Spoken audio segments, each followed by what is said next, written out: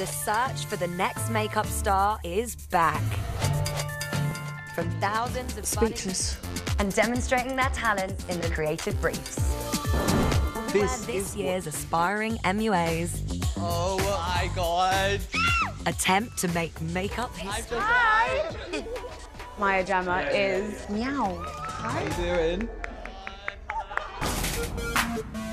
Dominic Skinner has worked for at a fashion leading health and beauty retailer. customers in and Super. showcase what's in store. And this real high street heavyweight. This is really I was ushered away from counters. I was told there's nothing here for you. And it really told me that I didn't count. I was invisible.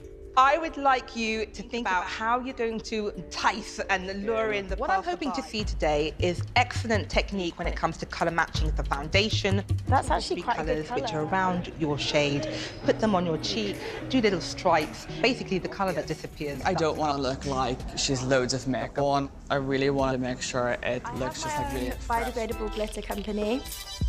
I love the effect that makeup can have on people. shreds if it's not. So time's ticking now. Mm-hmm. How I are you just use feeling a spoolie to just splatter gold. does not match the neck, does not match the ear, does not For us as a brand, this is totally brand makeup. Okay, so this is Jack. pop of colour on the eye. I think that matched the really brief. works. The amazing skin, eye-catching look, and really colourful If an palette. MUA's name is on one of the two red chairs, face-off elimination at the end of the day's brief. And Glow Up Studios comes stocked with any products they may need. hair because this is the thing that people remember me by. So I'm going to be weaving materials Experiences through of my being hair. autistic. The idea is on masking, which is fashion aspect. about And what's your drag name?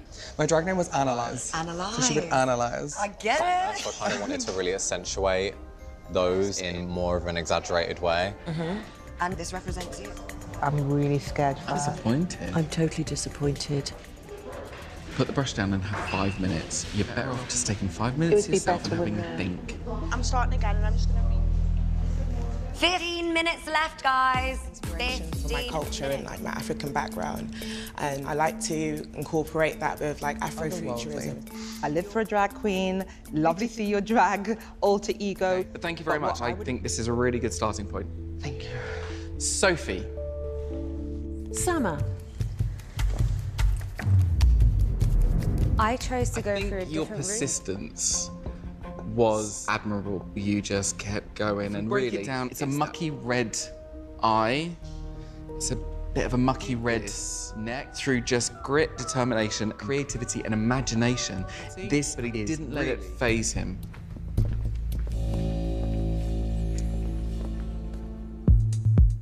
To level the playing field, the MUAs will face off over a pair of In a more controlled, I'm going to curate a clumpy lash. we need a conflab. Agreed. Clever, because it created a more body feel. Like an incredible makeup artist.